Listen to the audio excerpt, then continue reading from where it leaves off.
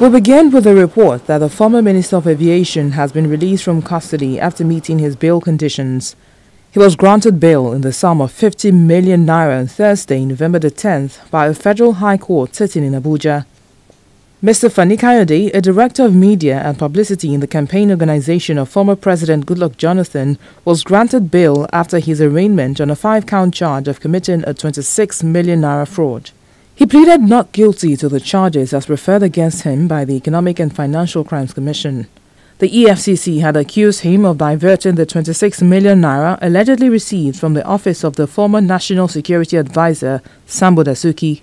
The EFCC also accused him of handling the money without going through a financial institution as required under the Money Laundering Act.